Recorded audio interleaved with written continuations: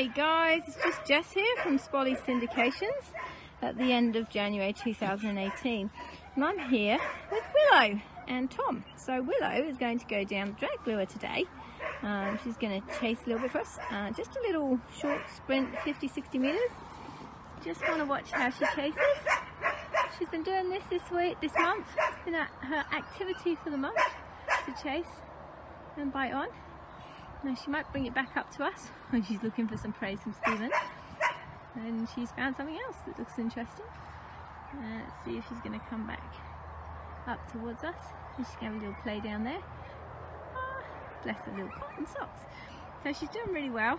I'll walk down towards her so you get some more close-up footage of her. She's doing really well with us. Um, she's been reared in fours still with four of her little mates.